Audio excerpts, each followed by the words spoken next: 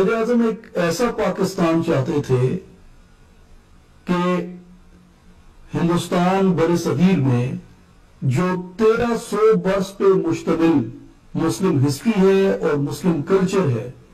اس مسلم history اور مسلم culture کو پریزرو کیا جائے اور پاکستان کے بنانے میں قائد اعظم یہ کہتے تھے کہ اس کا مطلب محض خود مختاری بھی نہیں اور محض آزادی بھی نہیں، بلکہ اس مسلم کلچر کو پریزرو کرنا مقصود ہے جو ہمارے اس ریجن کے اندر محفوظ ہے۔